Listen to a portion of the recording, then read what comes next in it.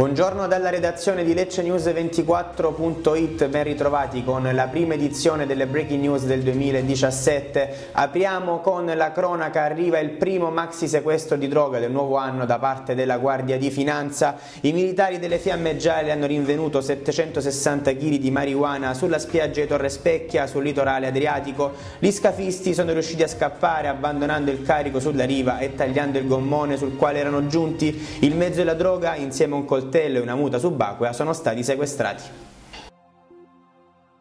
Paura nel primo giorno dell'anno in un tabacchino di Viale Giovanni Paolo II a Lecce, alcuni malviventi hanno appiccato un piccolo rogo nei pressi del locale, chiuso per il giorno di festa. Con del liquido infiammabile un uomo avrebbe cercato di distruggere il distributore automatico di sigarette, scoperto da un passante però si è poi dato alla fuga. Sul posto vigili del fuoco e polizia che adesso è impegnata nelle indagini del caso. Voltiamo pagina, passiamo all'economia, arrivano i dati definitivi del 2016 sul mondo del lavoro, quello appena trascorso è stato l'anno del boom dei voucher, in provincia di Lecce sono stati utilizzati 1.500.000, 32esimo dato nazionale, un incremento dell'11% rispetto al dato dell'anno precedente, con Bari prima provincia della Puglia.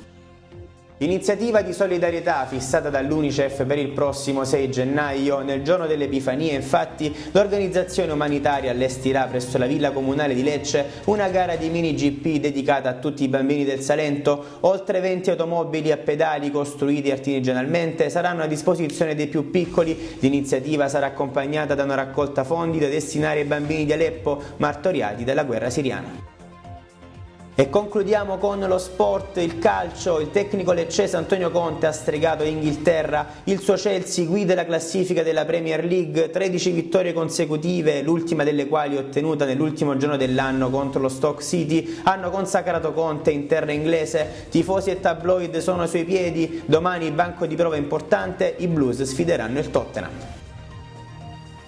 Si concludono così le nostre breaking news, tutte le altre notizie da Lecce e dal Salento le trovate sul nostro sito www.leccenews24.it anche in versione mobile. Ancora auguri e arrivederci.